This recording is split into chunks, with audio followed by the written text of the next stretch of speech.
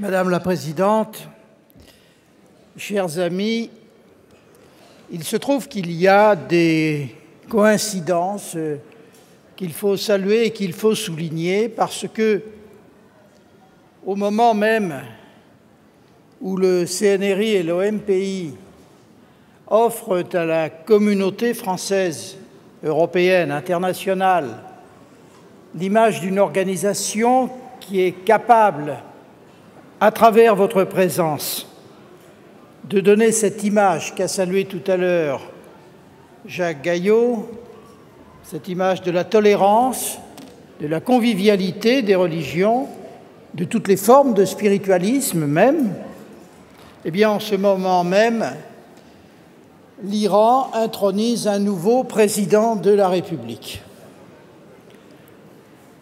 Alors, la prestation de serment qui, qui a lieu, ou qui va avoir lieu, je, ne maîtrise pas le décalage des horaires, cette prestation de serment ne ressemble en rien, il faut le savoir, à la prestation de serment du président Obama, par exemple.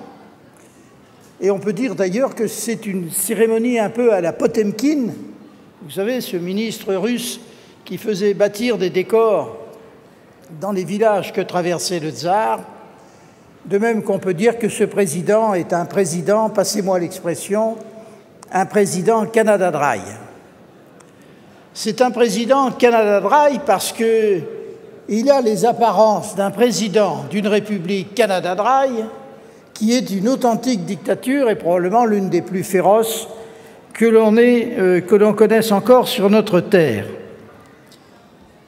Rien n'a changé en réalité, et bien qu'un certain nombre de commentateurs qui ont l'indulgence assez facile se plaisent à souligner la modération du personnage, les évolutions positives qu'il faut attendre de euh, ce remplacement, du remplacement euh, du fou furieux qui se trouvait avant lui, par quelqu'un de plus modéré qui effectivement ne met pas les pieds sur, la table et ne se livre pas à des excentricités, mais n'en est pas moins redoutable, eh bien, je pense que rien en réalité ne change. Rien ne change d'abord parce que euh, le régime n'a pas changé, parce que c'est toujours non seulement la théorie, mais la pratique quotidienne du guide suprême, détenteur de l'unanimité, de la totalité des pouvoirs qui se peuvent concevoir dans un État, pas forcément démocratique, mais dans un État, et puis d'autre part parce que le personnage que l'on nous présente comme un homme nouveau n'est en réalité qu'un revenant, un homme qui a déjà un passé, euh, que chacun peut apprécier comme il veut, mais qu'en tout cas, il serait inconvenant, absurde de nous présenter comme un passé encourageant, réformateur et rénovateur. Monsieur le docteur Rouhani, auquel on peut souhaiter de se convertir aux vraies réalités de la démocratie, comme le souhaite d'ailleurs notre ministre des Affaires étrangères, Laurent Fabius, qui attend le régime aux actes, ce en quoi il a raison. Donc, monsieur le docteur Rouhani, à la vérité, n'est pas du tout un inconnu. C'est un spécialiste euh, reconnu des affaires de défense, puisqu'il a même été vice-ministre de la Défense, et c'est un spécialiste reconnu et revendiqué des affaires nucléaires. Alors nous voilà plongés dans une actualité qui est quand même une actualité grave, parce que euh, passer du club des huit puissances nucléaires à un nouveau club des neuf fait grandir le danger toujours potentiel de l'utilisation des armes nucléaires, fait grandir ce danger cette fois-ci de manière exponentielle.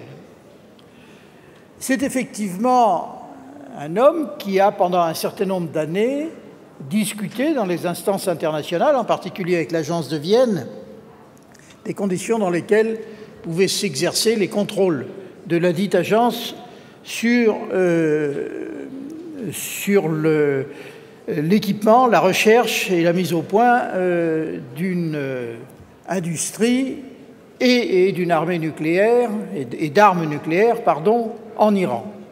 C'est donc quelqu'un qui maîtrise et qui connaît parfaitement le sujet. Il le maîtrise, il le connaît parfaitement et il avoue, parce que ce qu'il faut aussi reconnaître chez les hommes politiques, c'est que, bon, ils mentent parfois, hein, ils mentent souvent, j'ai fait aussi un petit peu de politique, madame, mais, en tout cas, ils sont toujours rattrapés par leurs paroles. Et euh, il faut savoir qu'en 2003, le docteur Rouhani a fait, dans une conférence à huis clos, ça devait être peut-être un huis clos comme le nôtre, là, aujourd'hui, un huis clos relativement nombreux, eh bien, il a expliqué comment il avait roulé dans la farine hein, les, gentils négociateurs européens, puisqu'à l'époque, nous avions euh, M. Joschka Fischer, en particulier, qui était le ministre des Affaires étrangères allemand, M. Stroh, qui était le ministre des Affaires étrangères euh, de la Grande-Bretagne. Je ne parlerai pas, évidemment, euh, par respect pour les institutions de la République, du ministre des Affaires étrangères français, enfin tout le monde le connaît. Ce n'était pas M. Kouchner, hein, je, me permets, de le dire. Et M. Rouhani nous a expliqué comment il avait, il avait roulé dans la farine ces négociateurs, tout simplement en acceptant d'arrêter le programme nucléaire iranien là où des résultats avaient été obtenus et où par conséquent il n'y avait plus de recherche à faire. Après tout, pourquoi pas hein. Mais par contre, de continuer euh, la recherche et les équipements et les achats et l'intervention d'un certain nombre de techniciens étrangers, en particulier pakistanais, de façon à poursuivre et poursuivre activement la marche de l'Iran vers le nucléaire. Une marche de l'Iran, il faut le dire, qui a commencé dès la prise de pouvoir par l'ayatollah Khomeini, puisque l'ayatollah Beheshti, Dieu et son âme, mais j'ai peur que Dieu n'en ait pas voulu, l'ayatollah Beheshti euh, a déclaré en 1981 que euh, l'Iran devait se doter de l'arme nucléaire et que l'ayatollah Khomeini a approuvé cette, position. Et depuis, euh, l'Iran n'a jamais changé de politique, et depuis, l'Iran poursuit sa politique nucléaire. Alors, il faut quand même aujourd'hui dire clairement, très clairement et très nettement, que le nouveau président de la République iranienne n'est pas le négociateur que l'on attend, ce n'est pas l'homme de paix que l'on attend, il se situe dans la droite ligne du régime. D'ailleurs, il a tout de même été autorisé à se présenter, ce qui en soi une référence suffisante, et il est en tout cas tout à fait résolu à mener l'Iran vers la possession de l'arme atomique. Il faut être très clair sur ce point. Alors vous me direz que dans une soirée où nous célébrons le, ramadan, enfin l'approche de la fin du ramadan, où les esprits doivent être tournés vers autre chose que des considérations matérielles, autre chose que des considérations euh, militaires, il nous faut quand même nourrir d'autres espoirs. Oui, oui, il nous faut nourrir d'autres espoirs, et je pense que nous le pouvons. Je pense vraiment raisonnablement que nous le pouvons. Depuis quand même un certain nombre d'années que nous nous connaissons, euh, mes amis Moudjahidine et moi, et vous toute la première, Madame la Présidente, il faut dire que beaucoup de choses ont été faites, beaucoup de batailles ont été livrées, avec euh, parfois des reculs, avec parfois des revers, des déceptions, mais avec toujours, inévitablement, au bout de grandes victoires. Aujourd'hui, le régime iranien se dit contraint, se dit décidé à négocier. Il se dit décidé à négocier parce qu'il est contraint de négocier. Et trois choses les contraignent. Ce sont d'abord les contraintes économiques et sociales. La situation est évidemment épouvantablement difficile. Pardonnez-moi de ne pas aller me rendre compte sur place. Je ne suis pas sûr que je serai forcément extrêmement bien accueilli. Mais euh, c'est un fait.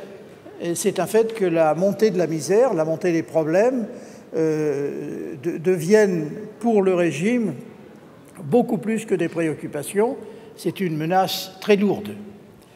Et puis il y a la résistance de la population, qui est souvent une résistance passive, mais qui se traduit euh, en particulier à l'occasion des élections ou à l'occasion de manifestations, de manière forte, d'une manière dont nous n'aurions pas, nous, probablement, enfermés dans notre confort, la force. Et puis, il y a enfin et surtout la résistance active. C'est celle que vous incarnez, Madame la Présidente, c'est celle qu'incarnent tous nos amis ici, Moudjahidine, que j'admire, je le dis sans, sans façon, et avec toute la sincérité dont je suis capable. Et je salue au passage les propos. Oui, madame, je vais, conclure, j'y arrive.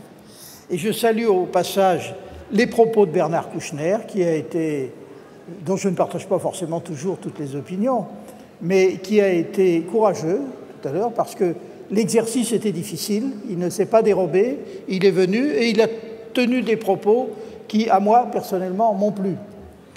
Eh bien, euh, cette résistance active, c'est la vôtre. Et c'est cette résistance active qui, et ça, c'est un geste formidable, qui donne aujourd'hui à Paris, peu importe qu'on soit à Saint-Denis, hein, Saint-Denis où sont enterrés, paraît-il, les rois de France, mais je n'ai pas le culte de ce genre de mort.